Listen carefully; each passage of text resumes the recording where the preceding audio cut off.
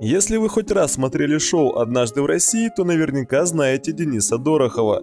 Впрочем, юморист известен еще со времен КВН. Он успешно выступал за сборную Камызякского городка вместе с Азаматом Мусагалиевым. Денис родился в 1987 году с врожденным дефектом заячьей губы. Однако первое время родители Дениса объясняли это тем, что он упал с лестницы.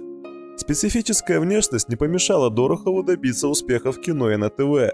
Напротив, он считает, что умение посмеяться над собой – очень важное качество в жизни.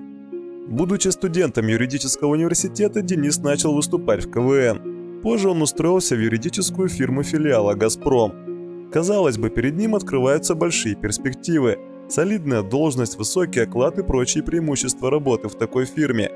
Однако Денис не успевал совмещать работу с КВН.